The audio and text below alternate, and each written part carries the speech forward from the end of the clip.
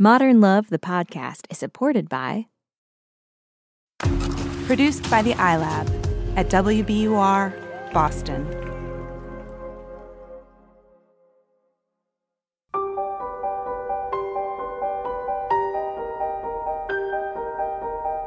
From the New York Times and WBUR Boston, this is Modern Love. Stories of love, loss, and redemption. I'm your host, Meghna Chakrabarti.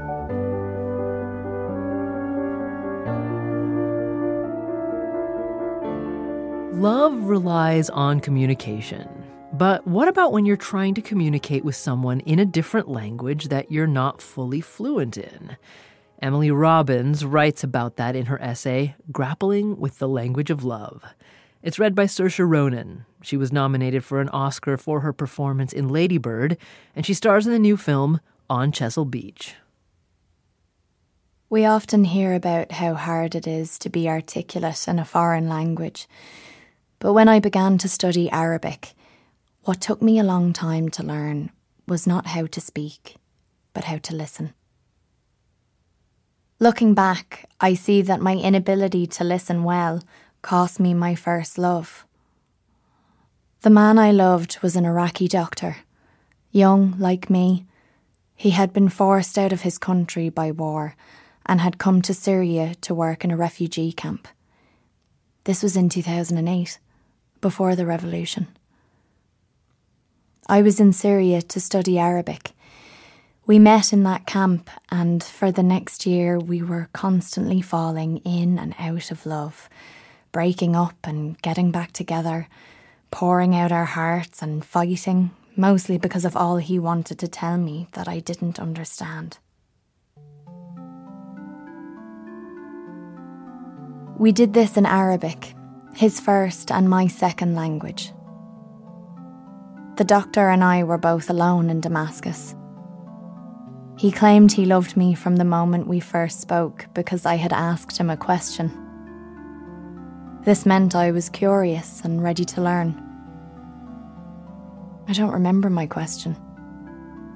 What I remember is the dust, which was overwhelming, and the sun, which would not stop beating and all the patched white tents which spread out from the doctor's ambulance, like the petals of a flower. I went into the ambulance to get out of the sun.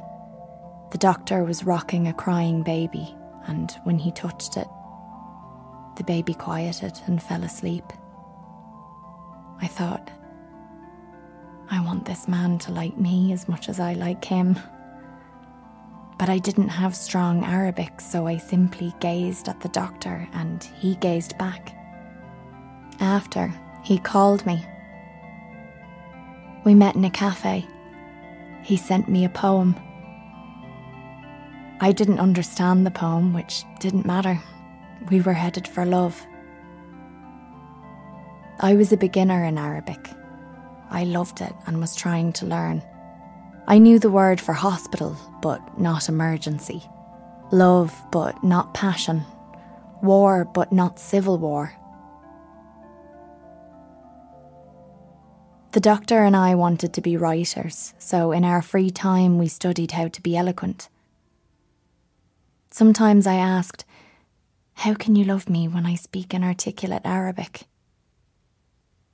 He assured me that he heard past my poorly constructed sentences to the beauty within. We didn't worry about whether I found him articulate because Arabic was his first language. We had not yet learned the lesson that vocabulary limits not just how well you speak, but how well you listen. We expected me to be inarticulate and him to be eloquent. We loved specificity and detail, and the doctor used great detail in his stories. But my Arabic vocabulary was blunt and broad, so I heard him as being blunt and broad. We went to a lecture.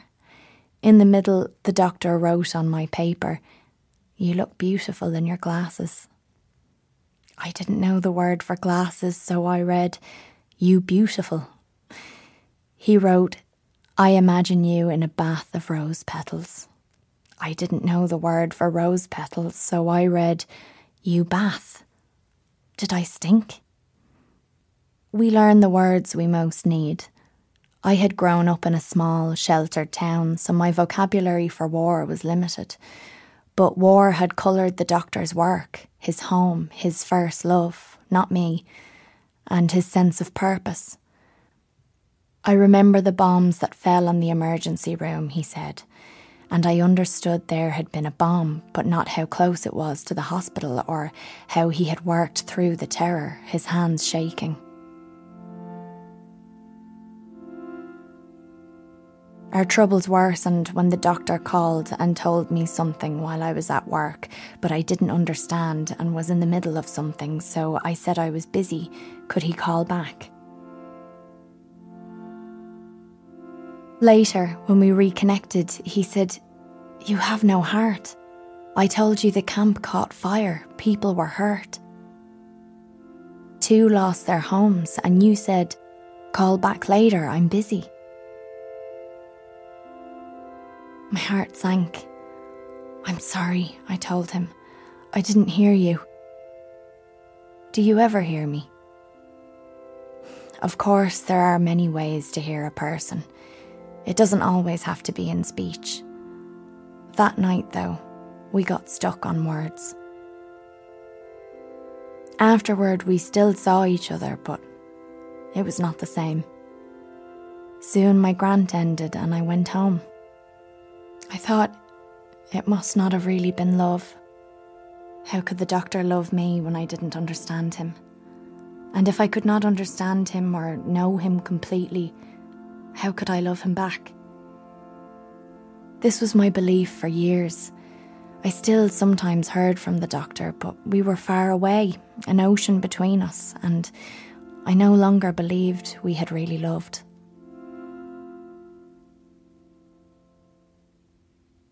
Then I met the man who would become my husband, a student with long hair who had come to the United States from Brazil to learn biology.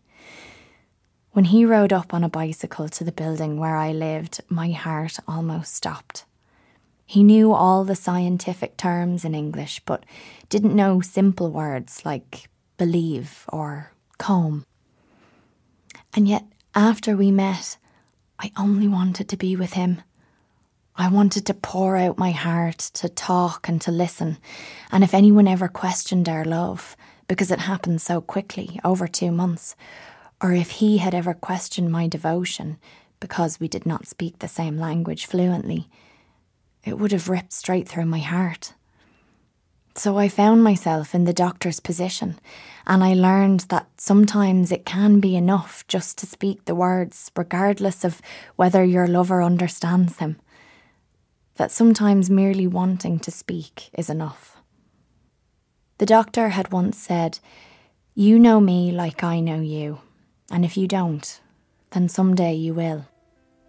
He had had faith in the future. I loved the way my husband looked when he was listening. He made up games that didn't require language. He didn't write poetry in English, but he drew pictures on scraps of paper and left them about the house for me. And in this way, I knew what he felt. What had I done to show I cared for the doctor? Over the years, I continued studying Arabic and my language grew. When I began to translate for people from war torn countries, I gained a specialised vocabulary. Armed with my new vocabulary, I went back to the doctor's poems. I took them out of their old box one by one. To my delight, I found that the doctor was eloquent. He wrote with precision and conviction. I went back to his story about the bombing and understood now how, in the middle of surgery, his hands were shaking so hard that he had not known if he could finish. But there was a patient before him. So he steeled himself and saw it through, and the patient survived. The bravery of this. I learned terrible things about the exact ways he had been tortured and beaten, about the strangeness of death threats he had received simply because he was good at his work. I learned that sometimes to be good is the most dangerous thing. And finally, after so many years, I learned his sense of beauty. He wrote a poem about a jasmine flower that bloomed while wedged between dust and the ice of a wintry desert. Whether he meant this flower to be us no longer mattered. What mattered was that his words lasted. As beautiful now as then, his words had kept until I could listen and understand. Years after the doctor and I had fallen out of love, I finally knew him. He is now married and lives in Sweden, where he works for the Red Cross.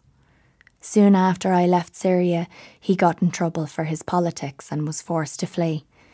A refugee with an uncertain passport, he made the precarious journey up through Turkey, across the sea in an unstable boat, five years before thousands of Syrian refugees, fleeing their own war, would make the same trip.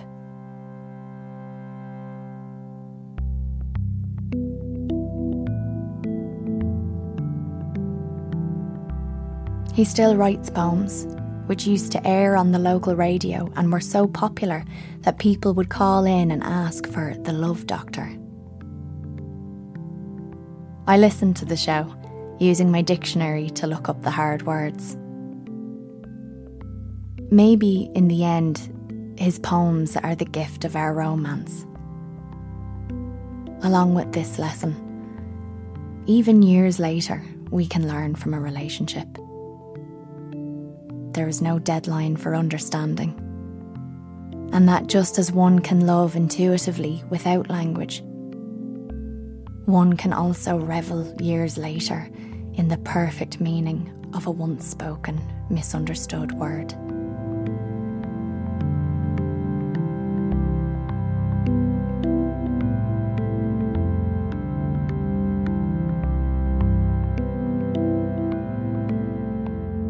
That's Saoirse Ronan reading Emily Robbins' piece, Grappling with the Language of Love. We'll catch up with Emily after the break.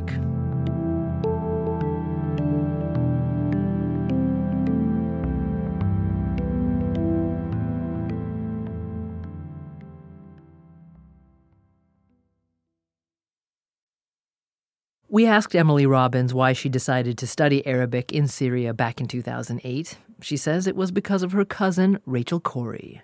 She was a peace activist in Palestine, and she was killed when she was protesting the demolition of a Palestinian home. She was the first American to die in that way, and so she became famous. And her death sort of threw my whole extended family into a conflict at the time we knew very little about for me, I was 18 and I was just starting college. And I felt like after her death, someone in the family should speak Arabic.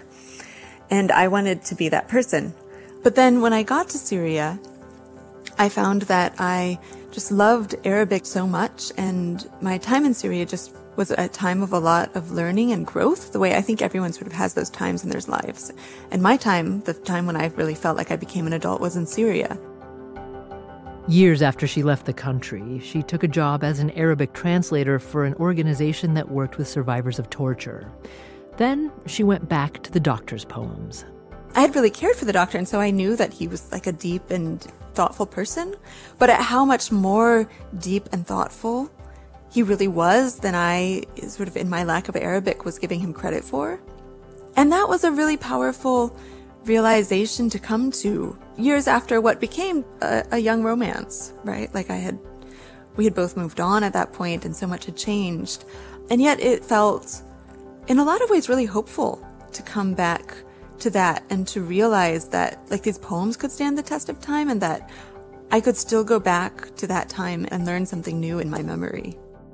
Emily never told the doctor what she'd realized about his poems or about her modern love piece that was a romance of the past and how many of your romances do you still you know of your of your former lovers do you still really talk to you know and i'm married in a wonderful relationship and and he's married and so I just think that even though this realization was really wonderful and important for me to have, that time in our lives has passed.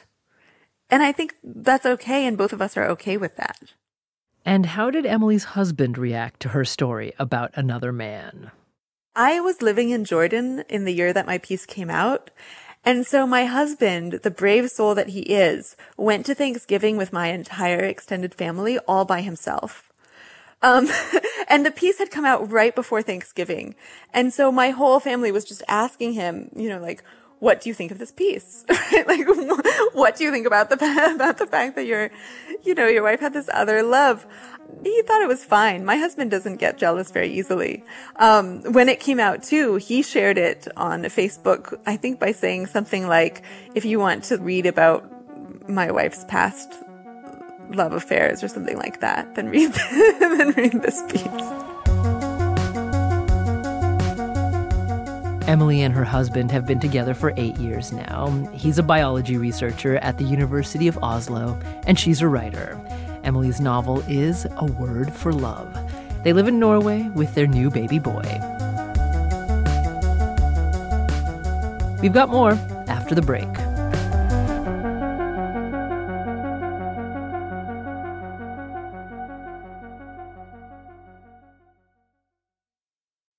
Daniel Jones, editor of the Modern Love column for the New York Times, says that when he started reading Emily's essay, he thought it was going to be a sad story of missed opportunity with the doctor. But it spins around into uh, sort of a new lesson that that uh, is is about the future and about how he was beautiful uh, years and years later. And I love that how she could spin it around into uh, sort of a lesson about beauty and appreciation instead of a story of loss and missed opportunities.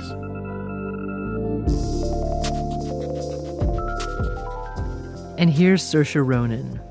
What I felt most connected to in the piece was the clarity that she gained after this relationship, and that it was something that seemed like everything at the time, and, and it was so important to her, and it really sort of ended up shaping her life years later. Um, I love that idea that every relationship we've been in, whether it's romantic or a friendship, it really does sort of make us who we are and helps us to see the world and other people a little bit clearer. Thanks again to Saoirse for reading this week's piece. She stars in the new film On Chesil Beach.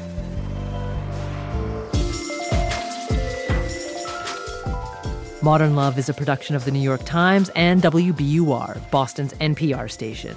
It's produced, directed, and edited by Jessica Alpert, Caitlin O'Keefe, John Perrotti, and Amory Sievertson. Sound design and original scoring by Matt Reed. The idea for the Modern Love podcast was conceived by Lisa Tobin. Iris Adler is our executive producer. Daniel Jones is the editor of Modern Love for the New York Times and advisor to the show. Music for the podcast, courtesy of APM. I'm Meghna Chakrabarti. See you next week.